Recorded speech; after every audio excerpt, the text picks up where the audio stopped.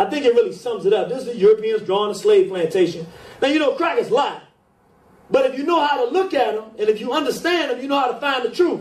Now we see here, brother, obviously a rebellious brother, didn't want to just tolerate whatever Europeans were telling him mistreatment. So he get ganged up, tied up to this pole. You see the European pull him down naked, got his buttocks showing right there, got a black man assisting in the process. But I want you to key in on the European showing you who he really is. Because you see the cracker laying up on the hill, right? See him bare chested in his uh, uh, freakish kind of sordid kind of mind. What you think happens after this brother gets beat and this cracker leaves and that Negro leaves too?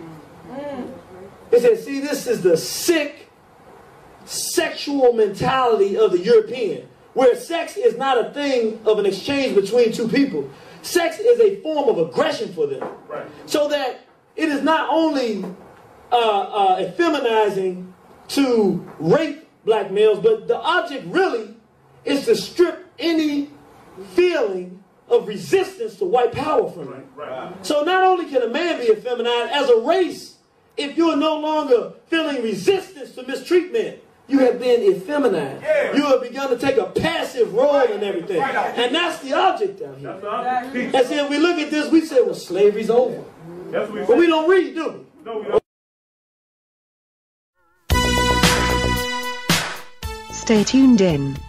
The next episode will begin soon. You have just heard another great and powerful message for our black community. Brought to you by John Henry Media Network and the United States of America. This is the place for you, your family and friends to hear. Educational messages and music from other very important black people to help build a stronger and more revolution ready black America. Your message will awaken another sleeping giant. So, contact us today at jahu.enterprises at yahoo.com. I say again, that's jahu.enterprises at yahoo.com.